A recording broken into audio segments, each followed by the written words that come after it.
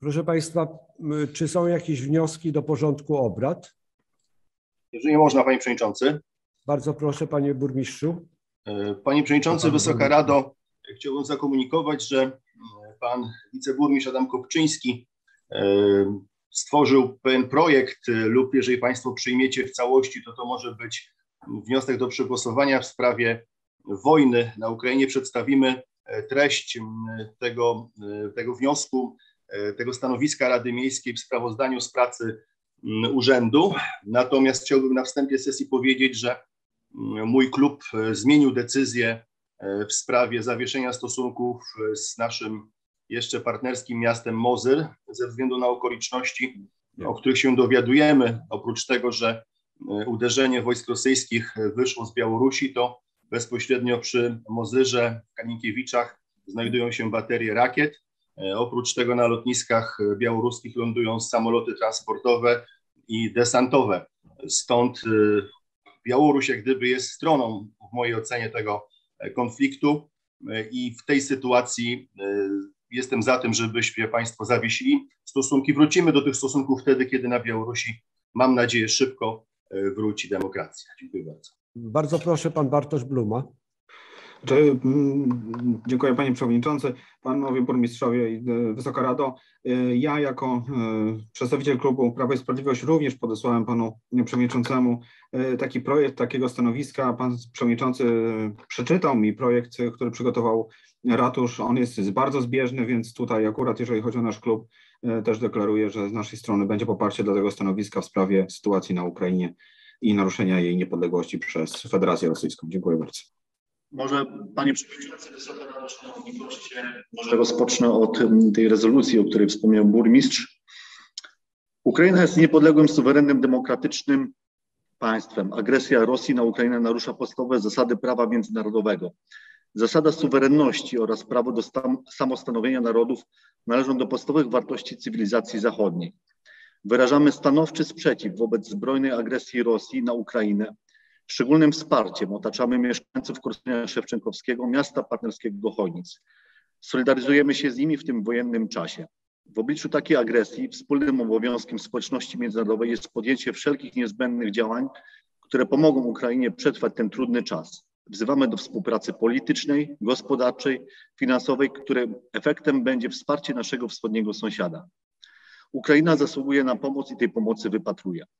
Jednocześnie sami deklarujemy aktywną rolę w pomoc dla narodu ukraińskiego, a w szczególności mieszkańcom Korsunia Szewczenkowskiego, między innymi poprzez zbiórkę pieniędzy, organizację pomocy materialnej i przyjęcie uchodźców wojennych w naszym mieście. Proszę Wysoką Radę o przyjęcie rezolucji przez aklamację. Dziękuję bardzo Panie Burmistrzu. Y, wydaje mi się, że to y, oświadczenie, czy ta rezolucja, którą przedstawił Pan Burmistrz Kopczyński, wybrzmiała y, właściwie Dlatego też prośba o przyjęcie przez aklamację y, jest właściwa tutaj w tym miejscu. Nie będziemy głosować, ponieważ jak wiem, wszyscy zgadzamy się z tym, że należy narodowi ukraińskiemu w tych trudnych chwilach pomóc. Pytanie, jeżeli ktoś miałby odmienne zdanie, to może y, je wyrazić. Jeżeli nie wybrzmi coś takiego, to y, zakładam, że przyjęliśmy Y, tą, to oświadczenie, tą rezolucję w takim brzmieniu, jak została przedstawiona przez pana burmistrza Kopczyńskiego. Nie słyszę sprzeciwu, w związku z tym uznaję, że y, ta rezolucja została jednogłośnie przez Radę Miejską y, przyjęta. Tą rezolucję prześlemy również do naszych przyjaciół do Korsunia. Dziękuję Państwu bardzo. Ostatnia uchwała, projekt uchwały w sprawie zawieszenia partnerskich stosunków między miastem Mozyr w Republice Białorusi, a miastem Chojnice w Rzeczpospolitej Polskiej. Rozmawialiśmy już dzisiaj na ten temat, także właściwie pozostaje nam tylko y, głosowanie w sprawie przyjęcia tej uchwały i proponuję, żebyśmy do tego głosowania przystąpili. Przepraszam, jeszcze chciałbym zabrać głos. Przed głosowaniem? Tak, przed głosowaniem. Dobrze, bardzo proszę, pan Bartosz Bluma. I pan Zdzisław Januszewski widzę, że też się zgłasza. No właśnie bardziej o jego głos chciałem chodziło. Ja bardzo dziękuję za tę deklarację ze strony pana burmistrza. No, w chwili obecnej no, ta decyzja, która jest podejmowana, jest właściwie jedyną możliwą decyzją. Ja bym nawet szedł już e, myślami o krok dalej, czyli o w ogóle likwidację stosunków partnerskich z miastem Mozyr ze względu na no, realne zaangażowanie się tego miasta, albo też wiedzę tego miasta dotyczącą zaangażowania wojsk e, rosyjskich w atak na Ukrainę. Ta dotychczasowa współpraca no, nie może być realizowana, chociażby mówię w świetle tych dokonanych ataków właśnie z rejonu mozyrskiego na terytorium Ukrainy rakietami Iskander, chociażby w dniu wczorajszym, ale również to jeszcze z zeszłego tygodnia również informacje potwierdzają o tych atakach. To z mojej strony tyle. Dziękuję bardzo za tą zmianę e, postawy Państwa klubu. Oddaję głos Panu e, Zdzisławowi, który chciał też w tej sprawie, wiem, że jeszcze zabrać głos. Bardzo proszę, Pan Zdzisław Januszewski.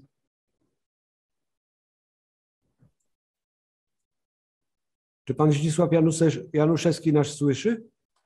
Pan Zdzisław nie wyłączył mikrofonu. Już jestem, przepraszam. Słychać mnie, tak?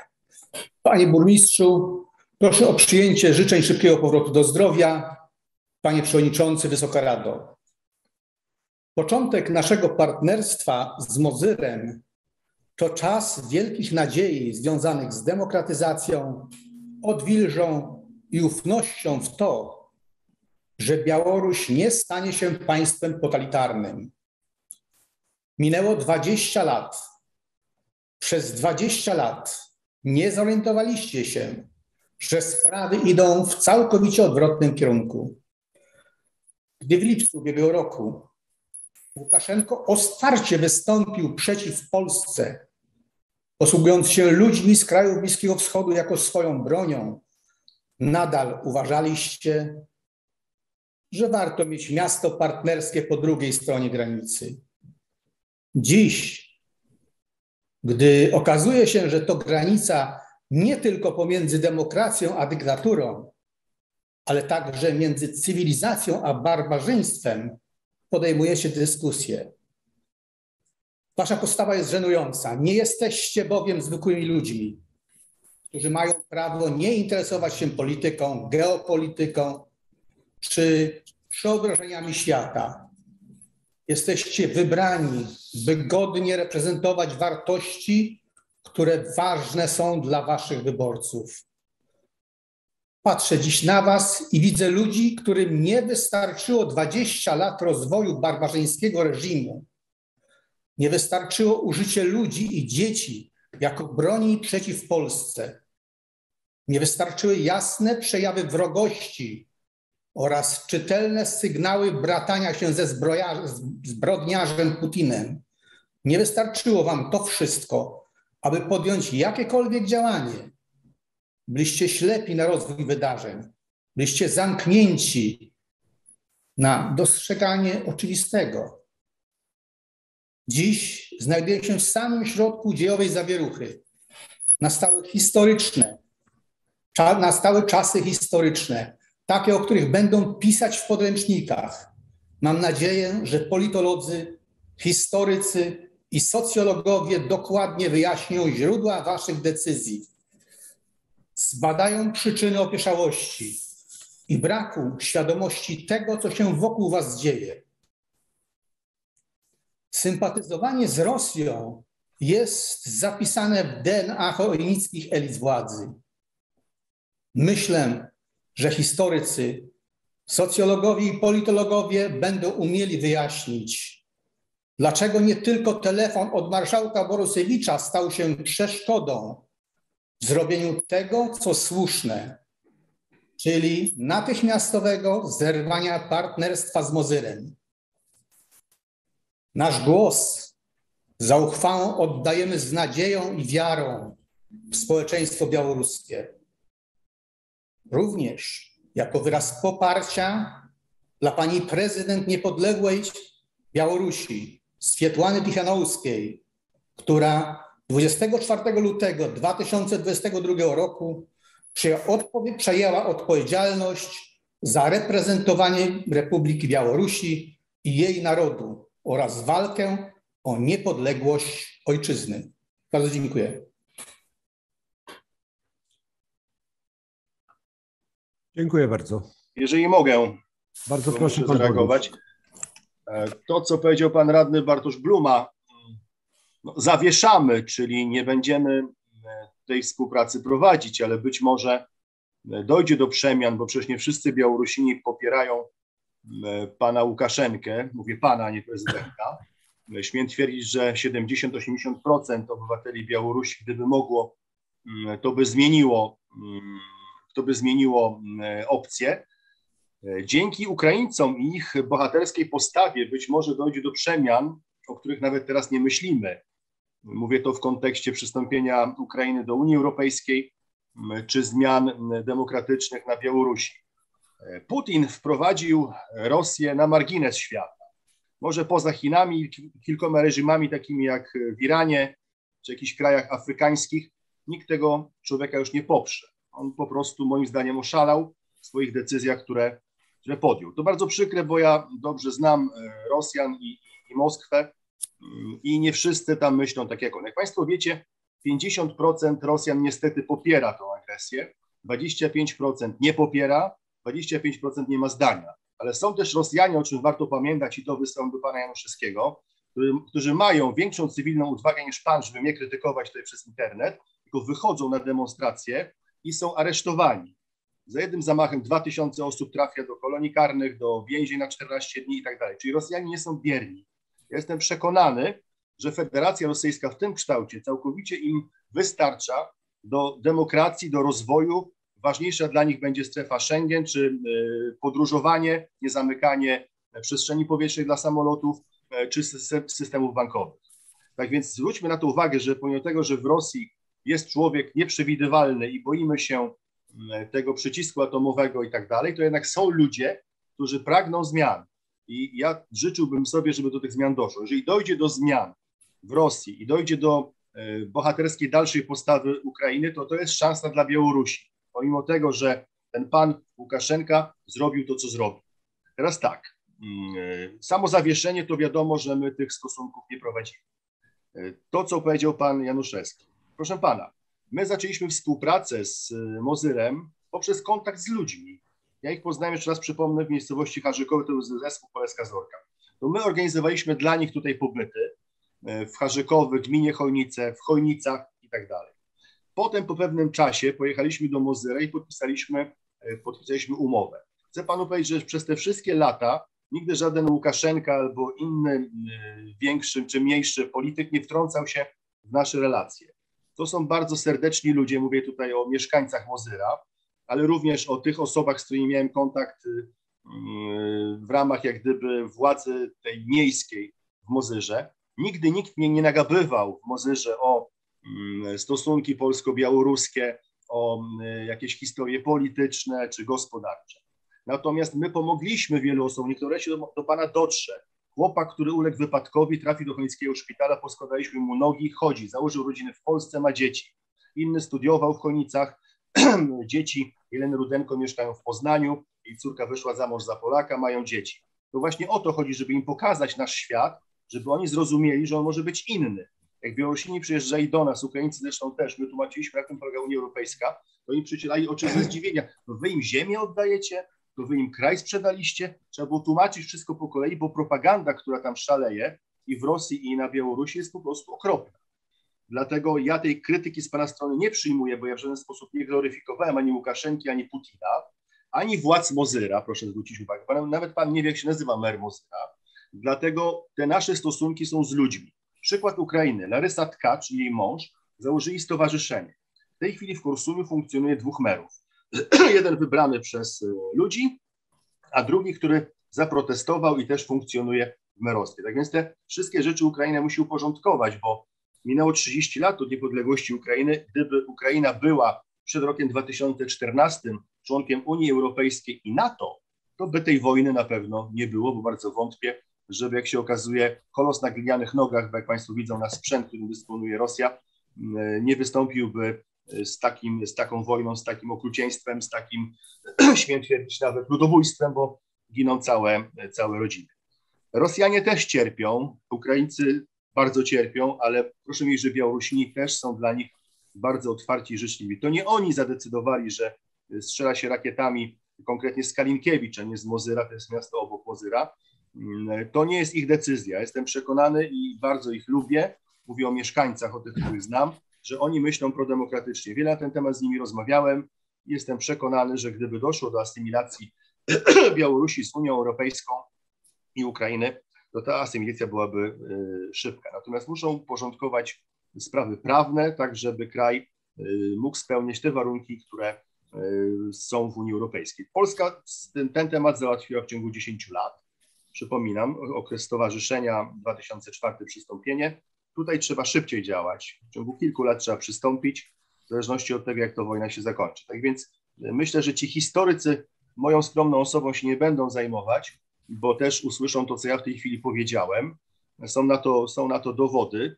Ja mam bezpośredni kontakt z mieszkańcami i Ukrainy, i, i Białorusi, z nimi rozmawiam i śmiem twierdzić, że wiem na ten temat y, niestety więcej od Pana. Życzę Panu, żebyśmy się mogli spotkać i wymienić poglądy, nie w taki sposób pryncypialny, jak Pan to wygłosił przed chwilą, bo to mnie, szczerze mówiąc, dotknęło, jak gdybym był winien temu, że my się przyjaźnimy z mieszkańcami. Niech Pan jeszcze zważy na koniec, że my żadnych oficjalnych stosunków z delegacją miejską czy, czy rejonu Mozyra od kilku lat nie utrzymujemy, a to w związku z tym, że wybory moim zdaniem były sfałszowane na Białorusi, w związku z tym, że e, Polonia jest traktowana bardzo źle przez Łukaszenkę, tak więc tutaj były kontakty tylko i wyłącznie związane z mieszkańcami, których znamy. Dziękuję za uwagę. Dziękuję bardzo, panie burmistrzu. Można? Y, nie, Dlaczego? Dlatego, że pan miał prawo wygłosić swoje oświadczenie i pan burmistrz też miał prawo wygłosić swoje oświadczenie i to powiedzmy W oświadczenia ramach, w ramach sprostowania jakiego sprostowania? podważano moją odwagę i osobiście naruszono moje dobra. Czy to nie wystarczy jako powód? No proszę bardzo. Panie burmistrzu, ja starałem się jak najdelikatniej mówić. To pan podpisał umowy nie z zespołem Poleska Zorka, lecz z przedstawicielem Łukaszenki. To pan wprowadza w błąd, mówiąc, że dzięki umowie o współpracy można było pomóc Sergiejowi Sergejowi pomagano w 2002 roku. Pomagali chojniccy lekarze, przede wszystkim dzieci z chojnickiego ogólniaka. Umowę zawarto dopiero w 23, 20, 20, 2003 roku. Proszę pana, nie można żerować na ludzkiej krzywdzie. Chwała Chwała zespołu Bławatek, chwała chojnickim lekarzom, chwała młodzieży, które, które zbierały pieniądze w czasie koncertu. I tu rzeczywiście Pan pomógł, Panie Burmistrzu, w zbiórce pieniędzy. Ale nie miało to nic wspólnego z umową między dyktatorem, jeszcze przedstawicielem dyktatora Łukaszenki, a Panem, Panie Burmistrzu. Ponadto obiecał Pan, Zresztą zapisane to jest w umowie coroczne sprawozdania. Obiecał Pan, gdy rozmawialiśmy w pierwszym wejściu kilkanaście lat temu, obiecał Pan, że będzie Pan robił e, podsumowanie co jakiś czas naszej działalności, naszej współpracy. Obiecał Pan taki raport w miesiąc po naszych uzgodnieniach. Od tego czasu minęło 20, no niecałe kilkanaście lat, a tych raportów nie ma. Do tego raportu, panie burmistrzu, niech pan doliczy ofiary reżimu Łukaszenki, tysiące ofiar. I wówczas ciekawy jestem tego raportu. Do ostatniej chwili broniliście jak niepodległości układów zawartych z przedstawicielem Łukaszenki. Druga sprawa. Panie burmistrzu, każdy się może mylić. I, I nie w tym jest problem. Problem jest w tym, gdy pan broniąc przedstawiciel, broniąc układów z Łukaszenką, atakuje własny kraj. Panie burmistrzu, zacytuję, że było precyzyjnie. Jeżeli chodzi o uchodźców, y, od początku, co do granicy, jeżeli chodzi o uchodźców, to możemy sobie podyskutować, czy my też w sposób właściwy ich traktujemy, po prostu wypędzając ich do lasu. Chodziło o uchodźców białoruskich. Panie burmistrzu, czy tam był chociaż jeden uchodźca? Wprowadzał pan w błąd. Byli to migranci, którzy własny, którzy byli, stanowili broń w ręku Łukaszenki. Panie Zdzisławie, ja nie widzę związku między tymi dywagacjami a y, tematem, który, który omawiamy. Już nie widzę kończę. też naruszenia pana dóbr osobistych, bo ja w stwierdzeniu burmistrza też nie zauważyłem nic takiego, co by naruszało pana dobra osobiste. Ja już kończę. A jak będę, panie przewodniczący, nigdy w życiu nie ośmieliłbym się tak nazywać, to bym też uraził pana dobro osobiste. Już kończę. O jak opiekują się nasze służby uchodźcami, to widać teraz w każdym dniu. I dumny jestem, że nasze miasto również przyłącza się do opieki nad uchodźcami. Dziękuję bardzo. Bardzo dobra wypowiedź Jeżeli pana. mogę, Bardzo dwa proszę, zdania. panie burmistrzu. e, Ale pana proszę dwa zdania, bo tak, sprawa nie jest warta aż takiej dyskusji. Tak, pana delikatność na pewno ocenią ci, którzy słuchali tej wypowiedzi.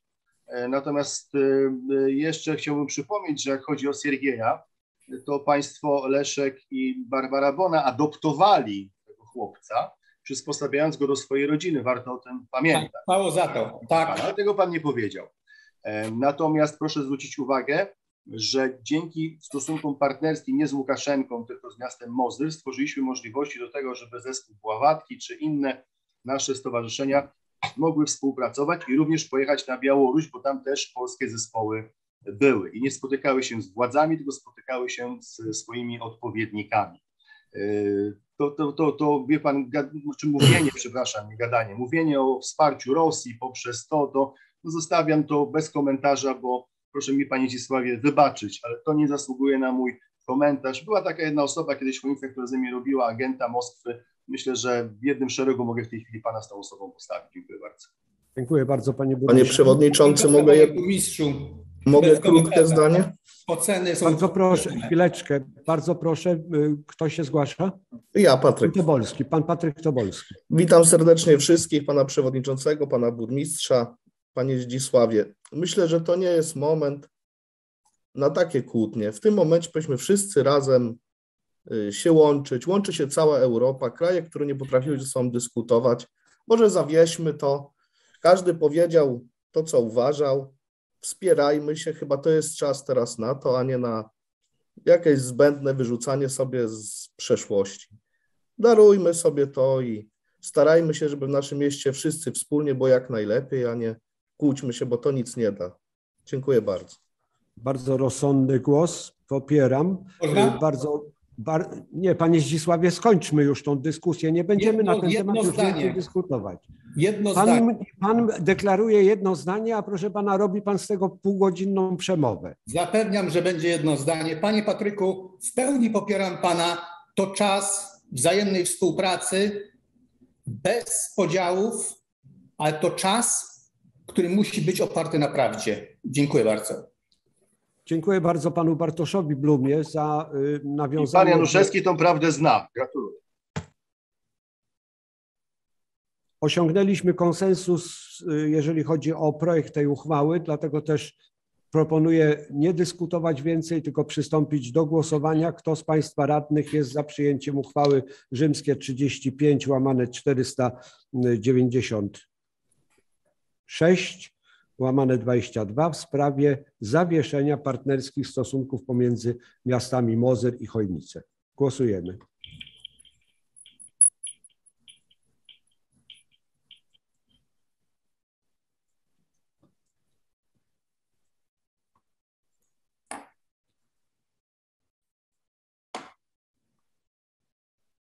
Głosowało 21 radnych, wszyscy byli za przyjęciem tej uchwały. Uchwała została